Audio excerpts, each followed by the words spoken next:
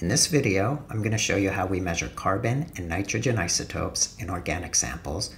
We use an elemental analyzer configured with our Thermo Fisher Delta 5 stable isotope mass spectrometer. This is a continuous flow system that uses helium as a carrier gas. The elemental analyzer quantitatively converts the carbon in your sample to carbon dioxide and the nitrogen to dinitrogen gas, which we can then send to the mass spectrometer for stable isotope analysis. I will briefly lead you through the analytical cycle for this type of analysis. Samples are sealed in a tin capsule and loaded into the carousel. A sample is dropped into the oxidation reactor, where it is timed to reach the hottest zone of the reactor just as a pulse of excess oxygen arrives.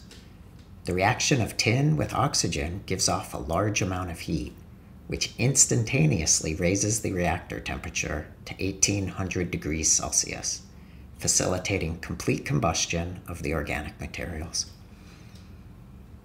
The resulting compounds in the sample stream are carbon dioxide, dinitrogen, water, nitrogen oxides, excess oxygen that is not used in the combustion, sulfur compounds, and halides. The pulse of sample gases flows through a bed of chromium oxide, which facilitates complete oxidation of the sample components.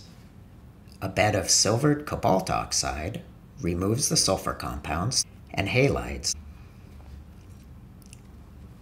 The sample pulse then flows into a reactor packed with elemental copper wires held at 650 degrees Celsius, which removes the excess oxygen by reducing it to copper oxide and reduces the nitrogen in the nitrogen oxides to dinitrogen gas. The sample stream now has only carbon dioxide, dinitrogen, and water.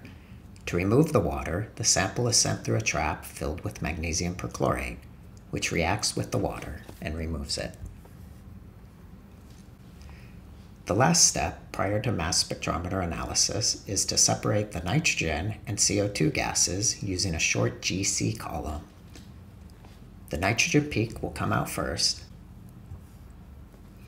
then the CO2 peak, they will then flow to the inlet of the mass spectrometer.